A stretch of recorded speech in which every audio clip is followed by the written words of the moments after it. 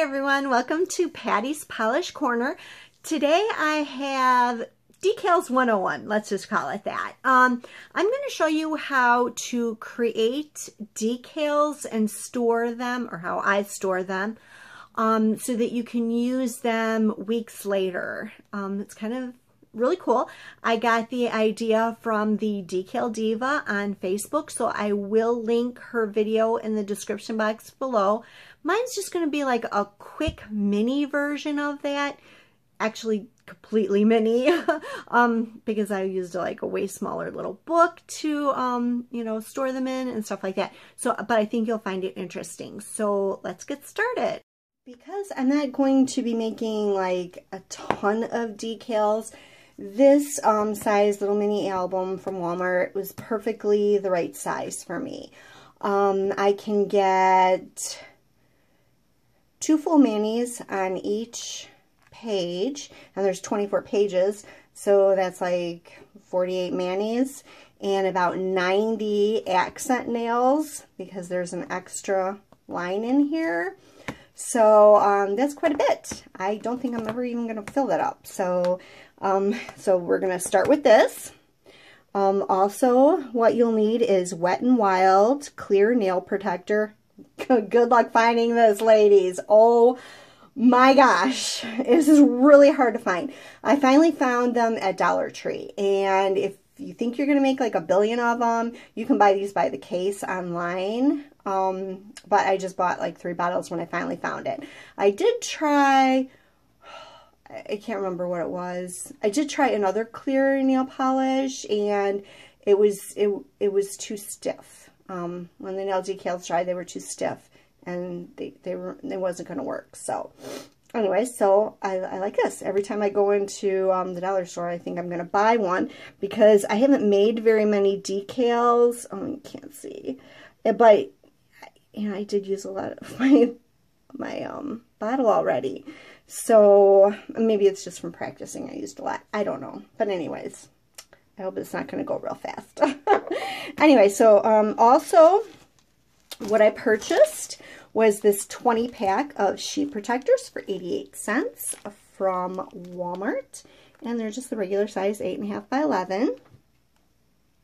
And what I did was I cut 6 inches up from the bottom. And then I cut four inches from this side. Sorry about that hair. Um, four inches from this side so that I have a piece that looks like this. And you want to make your cut, the, um, the, the, bind, the little binder holds four by six. So you want to make sure that, you know, you're, you're cutting right there. And then I cut off this part. I just cut off that part. And I measured six inches from the cut part. End up with two little pockets that look like this. I cut some cardstock. This one has a cardstock and a piece of paper in there just so that it would fit inside the little pocket because you have a little bit of edge. This is slightly smaller than five, 4 by 6 but I did I just started out cutting it 4 by 6 and then I trimmed it to fit in the pocket. I also um, put, I used Moyra stamping guide was perfect to draw little finger shapes um, in the size of my fingers so that um, I could just make a decal that would fit my finger and not have a lot to cut off excess or try to get rid of and fit on my nails. So that's what I did. And then I labeled them so I knew what nail they were supposed to go with. So we got thumb, I've got a pinky, two ring fingers, you know, like for accent, and then a middle and an index. And then I realized that the white paper, you don't see, see where you put the nail polish real well. So I went ahead and I made some that were pink and blue because that's what I had in cardstock. So I did the same thing on pink and blue. and you can see that you can now see where the decal is a little bit better. So that's what I did. Um, I put a little piece of tape on one edge. That's so I can slide my finger in here and kind of pop off the decal. Um, if you look at this one, I think it is, this one, I don't know, one of these I made, I was kind of trying to get it off and I made like a little dent. So I'm not going to be able to use that. I'll have to turn it around or something. But anyway, so that's that. And you'll also need a sheet of wax paper or um, this is parchment paper. That's what I had. And then you just slip it into your pocket after it's dry and you are good to go. Sort of. there you go. Slips right in there. Perfect. This one's almost all filled up with decal, or yeah, decal. So I'll just show you how I did it.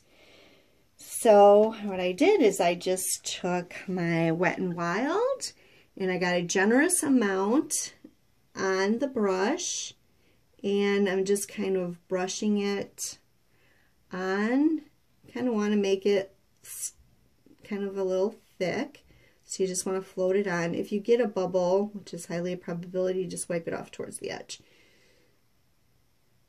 There. And see another bubble.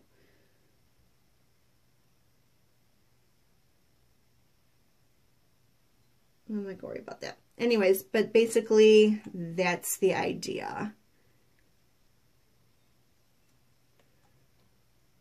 Just float a ton on your sheet protector. There you go, no bubbles. And um, then let it, I let it dry overnight. Um, probably a couple hours and you'll be good to go. So now we'll get to how to make the decal. The plate I'm going to use is Konad M29. Straight Up Black by Bundle Monster and my Monocle stamper. Here I have the image and I'm just going to stamp it right here.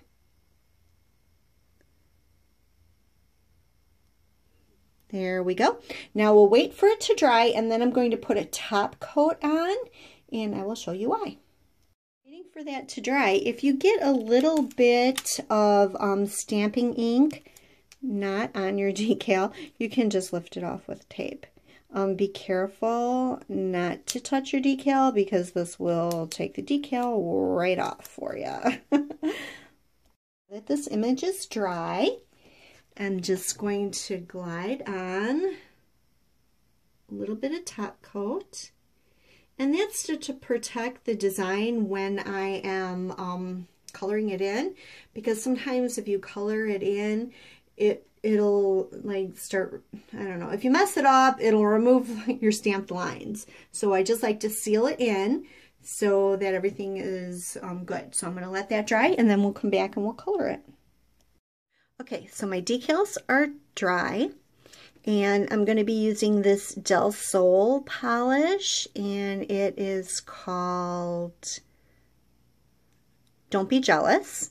It turns from like a bluish green to a green in the sun, like a brighter green in the sunlight, and it's, oh, I just love it. A little drop of it on this tin foil, and now we'll just get ready to um, fill in this design and I'm going to be using um, a fine dotting tool. Do that.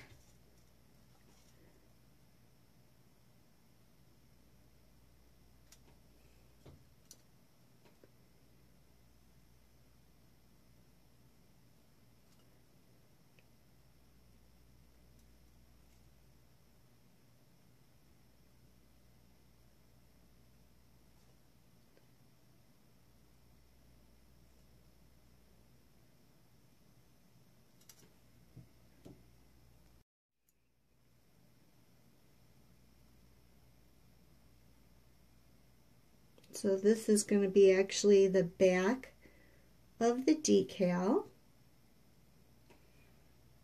We will just wait for that to dry and then the decal will be ready to use. Okay, so now um, the base of these decals were made like over a week ago. And this little guy is all ready to come off now.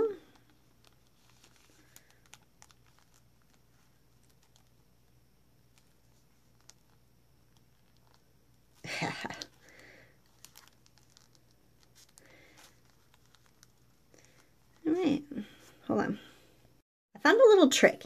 If you make your decals a little longer than you actually need, you can take a piece of tape and that will remove the decal from um, from the thing. And then you can just cut it off. Okay, so I'm just gonna cut the top where the little tape is right off.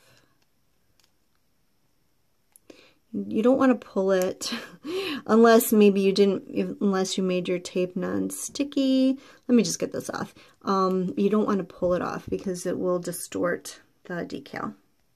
Okay, so as you can tell, this decal is very flexible, still after a week. And I'm going to just go put it right there. That's all you have to do is kind of push it down on your finger.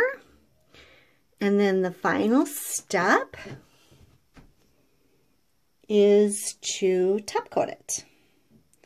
So I've got my shiny no clean top coat right here.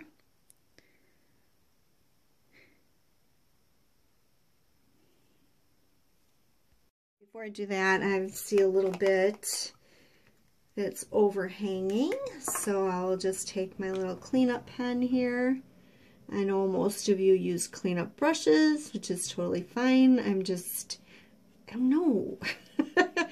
uh, I just cannot get the brush to work for me.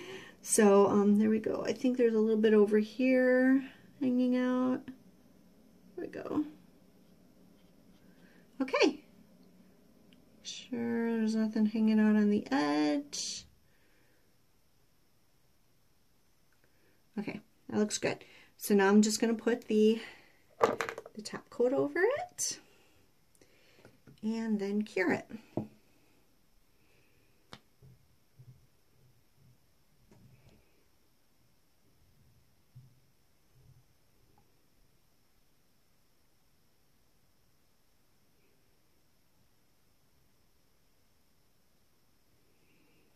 Okay, and I will come right back.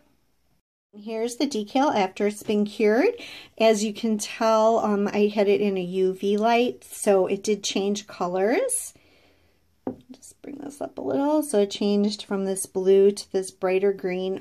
I just love these Del Sol color changing nail polishes for summer. They are so awesome. So much stuff you can do, especially when you're making decals.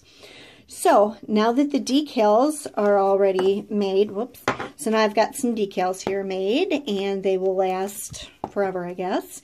And I will just slip them in here in their little pocket. I've got my parchment paper so they don't get stuck to the um, top of here if it should get like warm in the house or whatever. Anyway, so just slide it in there and I'm ready for when I want to use those decals on some more nail art. So, um, anyways, uh, if you want to know more about decal making, definitely check out Decal Diva on Facebook. On Facebook, I will link um, the information in the description box below. I hope you like this video. If you did, please give it a thumbs up. If you're not one of my subscribers, please subscribe. Thank you for watching. Bye for now.